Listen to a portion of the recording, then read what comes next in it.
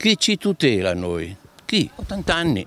80 anni. Abita nel quartiere di Poderino a Fano da pochi anni, ma tanto sono bastati per fargli notare la radicale trasformazione che lo stesso quartiere ha subito negli ultimi tempi.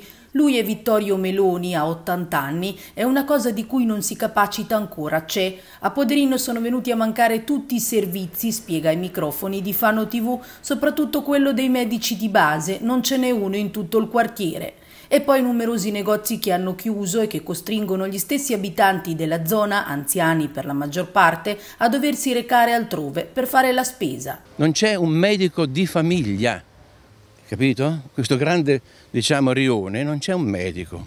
Poi, i pochi negozi che c'erano, alimentari, macelleria, rosticceria, non ci sono più, sono andati via.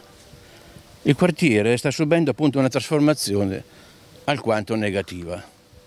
Quando sono venuto qua ho detto ah che bello, che bello, che bello, invece non è così. Non ci sono parcheggi adeguati, non sono sufficienti. La popolazione stanziale, la popolazione che abita qui da tanti tanti anni, si è invecchiata. Allora cosa deve fare? C'è una, una signora abbastanza giovane che accompagna me o mia moglie a seconda a fare la spesa e già questo qui sono fortunato perché me lo posso permettere.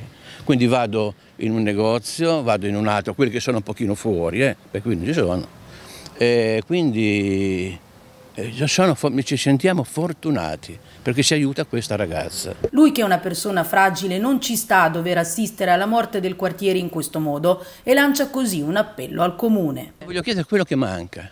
Prima di tutto i medici, perché per i medici è importante. Queste persone anziane non possono girare, giracchiare, devono trovare un medico qui, sul posto, perché qui abbiamo anche la farmacia.